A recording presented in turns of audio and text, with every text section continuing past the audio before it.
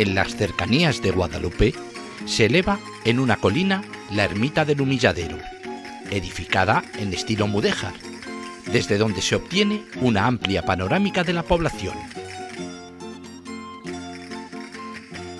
Es un lugar de oración previo a la llegada a Guadalupe, donde, entre otros, oró Cervantes, en su peregrinaje aquí para depositar las cadenas que le cautivaron en Argel.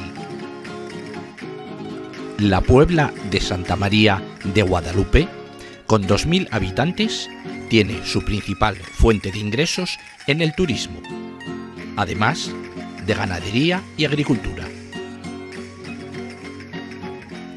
Recibe al viajero su ayuntamiento en la parte alta.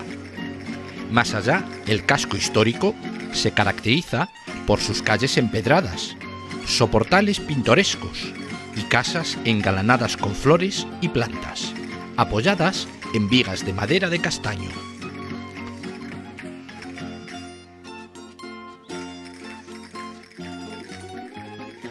A pesar de ser un pueblo pequeño, es el centro indiscutible de la comarca, gracias al poder de irradiación del monasterio y la imagen allí venerada. El ambiente en sus calles es extraordinario. Hay un continuo guirigay de peregrinos y visitantes. Las calles rebosan tiendas de recuerdos y artesanía, sobre todo de cobres y cerámicas, que llegan de Talavera y Puente.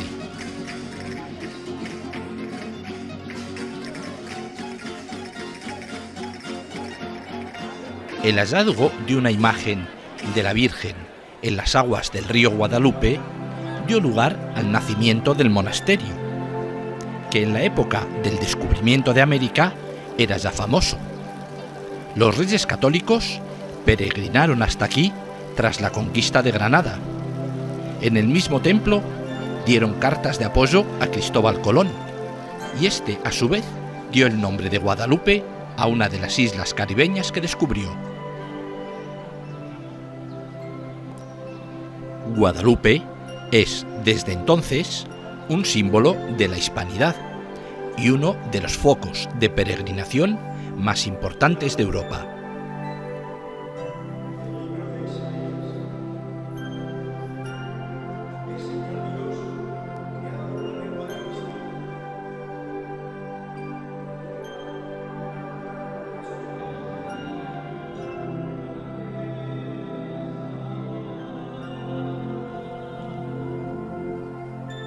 El monasterio amalgama los estilos gótico y mudéjar.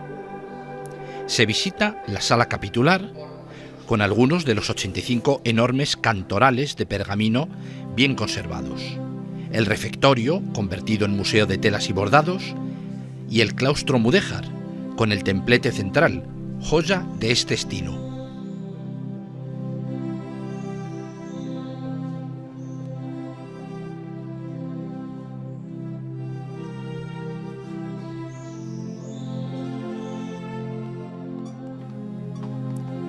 En torno al claustro gótico, detrás del mudéjar, se encuentra instalada la hospedería del monasterio, un hotel y un restaurante regentados por los monjes franciscanos.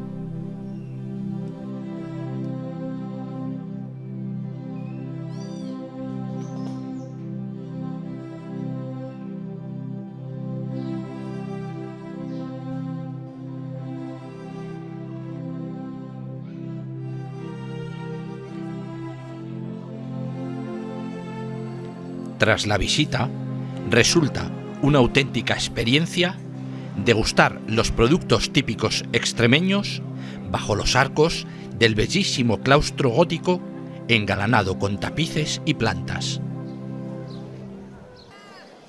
La visita al resto de la población continúa por la plaza, atravesando arcos medievales, plazuelas, iglesias, la antigua judería y el hospital del monasterio, hoy convertido en parador de turismo, con magníficas vistas sobre el conjunto religioso.